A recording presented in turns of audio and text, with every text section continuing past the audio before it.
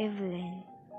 Eveline is a short story by the Irish writer James Joyce.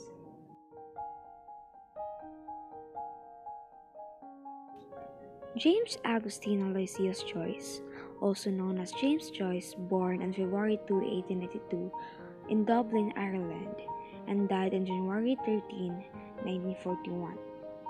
He is an Irish novelist noted for his experimental use of language and exploration of new literary methods in such large works of fiction as Ulysses and Finnegans Wake. The Table of Contents. Summary, Characters, Setting, POV, Atmosphere and Tone, Symbolism, and lastly, Theme. Summary Eveline is a young woman living in Dublin with her father. Her mother is dead.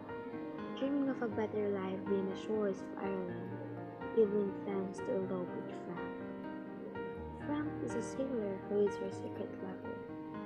Eveline's father having forbid Eveline to see Frank after the two men fall out and start a new life in Argentina. With her mother gone, Eveline is responsible for the day-to-day running of the household. Her father is drunk and only reluctant to tips up his share of the weekly housekeeping money, and her brother Harry is busy working and is away a lot on businesses. Another brother, Ernest, has died, so Eveline herself keeps down a job working in a shop. Characters Protagonist Eveline Antagonist Mr. Smith Eveline's father Supporting characters Mrs. Smith, deceased mother of Eveline Frank, sailor who says he will marry Eveline after they will go to Argentina to live Ernest and Harry, Eveline's brothers Miss Gavan, Devine's water guns, Little Cute Claimant of Eveline when she was a child, organ grinder, Italian street entertainer. Setting The story begins on an evening in the residential section of Dublin, circa 1900 years. It ends the same evening at the dock where a night boat ferry awaits passengers bound to England.